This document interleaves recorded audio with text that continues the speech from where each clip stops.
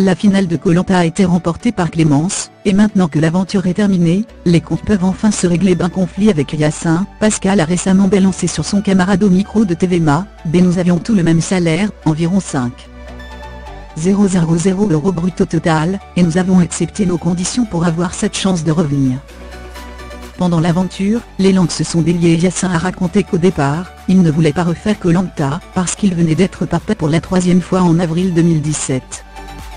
Mais TF1 lui a payé une nounou à temps plein, un privilège que n'avaient pas eu d'autres parents de jeunes enfants du combat des héros.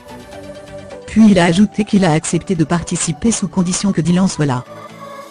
Au cours de cette interview, Pascal révèle également que l'idée du pacte financier venait de Yassin, mais non seulement nous n'avons pas scellé de pacte financier, mais c'est Yassin qui avait proposé à Javier, Clémence, Dylan et moi d'aller au bout pour partager. Sur le moment, tu rigoles et tu dis oui parce que si tu refuses, tu es éjecté au prochain conseil.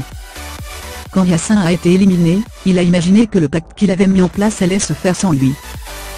Mais il n'a pas compris que nous n'étions des joueurs, nous étions là pour l'aventure, pas pour l'argent.